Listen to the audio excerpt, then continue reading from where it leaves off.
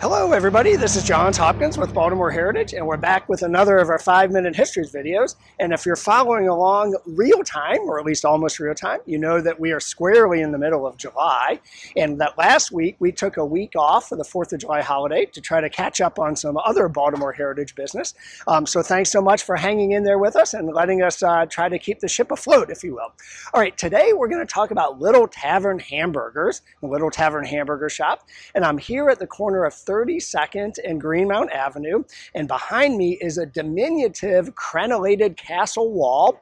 You might know it if you've ever been to the Saturday Waverly Farmers Market, or maybe if you've been to the Venerable Pete's Grill that's just around the corner, where Michael Phelps, our own Olympic champion, uh, would refuel on his 10,000 calorie breakfast as he was training for the Olympics.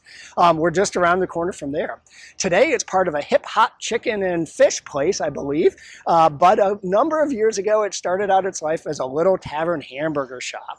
Um, and that's what we're going to talk about. So we're going to jump in. Little Tavern is not the nation's oldest uh, hamburger franchise, hamburger chain. That claim goes to White Castle. 1921, 100 years ago, White Castle was started in Wichita, Kansas. But our own Harry Duncan was not too far behind. In 1927, he moves from St. Louis to Louisville and starts not one, but five Little Tavern hamburger shops. He was going big. He was going, he was thinking really big, in fact. And, and the next year, just one year later, he moves to Washington, D.C.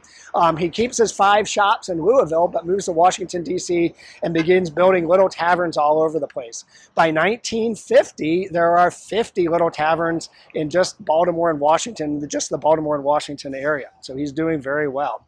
Um, now, Duncan did not have a sort of a long family tradition of being in the diner or hamburger business, but he did have a little bit of background by the time he got to Louisville. In St. Louis in the early 1920s, he was creating what he called baby beef burgers, um, and he developed a slogan, buy them by the bag. So maybe you were here many years ago and you took him up on that. You had one of the Little Tavern hamburgers or a whole bag full of Little Tavern hamburgers.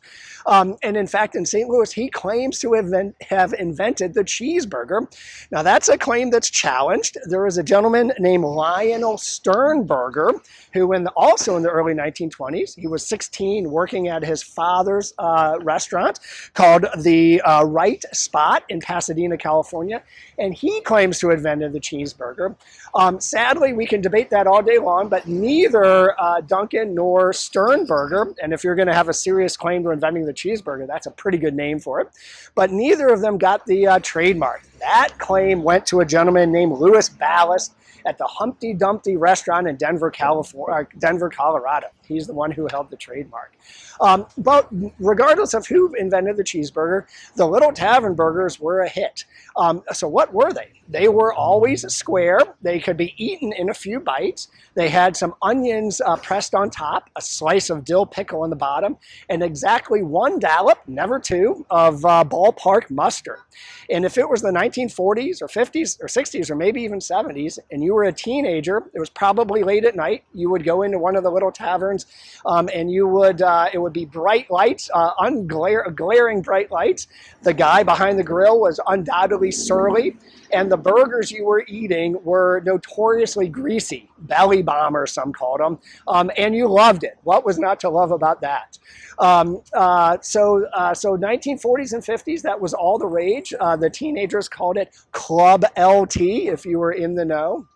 Um, uh, and, uh, and things went well.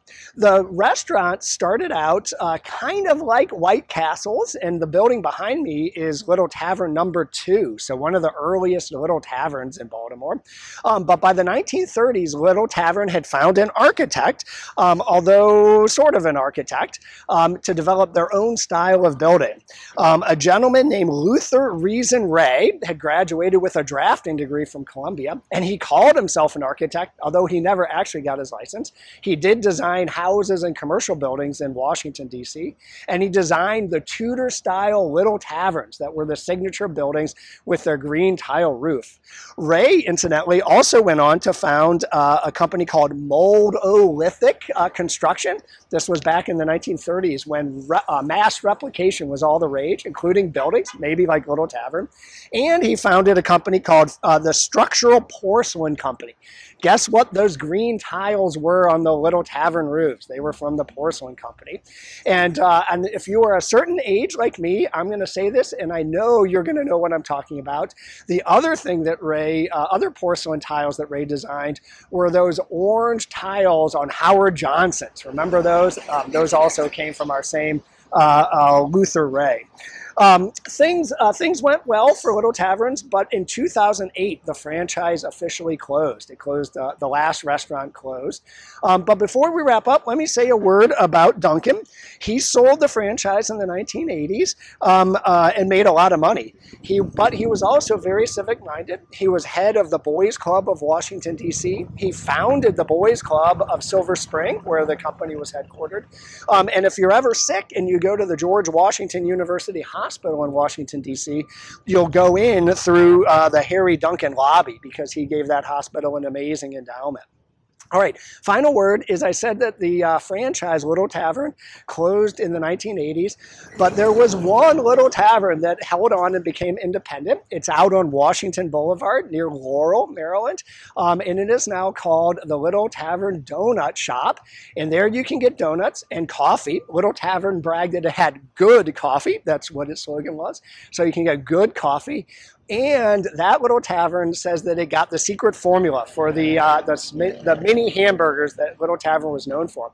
So you can go out there and, uh, and sample a Little Tavern hamburger just the way it was always made. All right, thanks so much, and we'll see you next time.